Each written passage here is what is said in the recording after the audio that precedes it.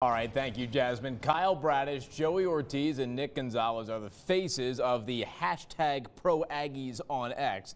If you look it up, you'll see all the great things the trio of former New Mexico State baseball players have done on the Major League Baseball field. Now, last night, a couple more clips were added to that thread. We'd love to show you, but we're having a little bit of difficulty with our clip machine, so I'm going to try and act it out for you. Of course, Nick Gonzalez and the Pittsburgh Pirates were down 6 to 2 against the Giants last night, but they came all the way back to tie the game up at 6 in the bottom of the 9. Now, in the bottom of the 10th, Pirates have the winning run over at second. So imagine in your mind's eye a runner at second. I'm Nick Gonzalez, and he's going to send this pitch right back where it came from. It probably looks something like that. Probably not that good, though. That runner's going to come around to score. Boom, Pirates win it. I'm probably sure there was a lot of jumping. There was a lot of screaming. People were freaking out. Great night to be at the ballpark. Pirates win 7 to 6 in 10. All thanks to Nick Gonzalez, who's continuing to play well for the Pirates. Now, Kyle Bradish on the bump yesterday for Baltimore facing the St. Louis Cardinals. Bradish, he had a solid outing, pitching five innings, allowing four hits. He's a right-hander, so he's probably doing some of this. He struck out six batters.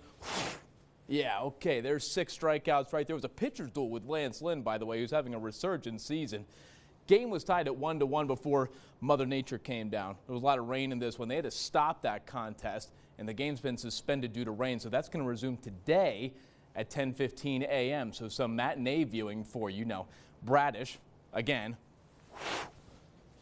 he's probably not going to go back out. His arm's tired, so Bradish will have to wait another day to collect his first win of the season.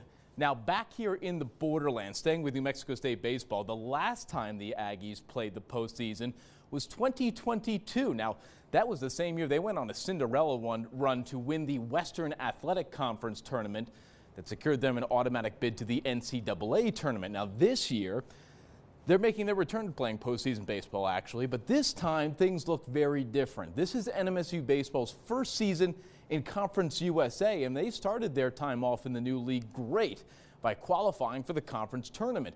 NMSU enters as the seven seed and a team with little collegiate baseball postseason experience, but that's not going to hold them back from making a run up in, Louis, up, up in Louisiana.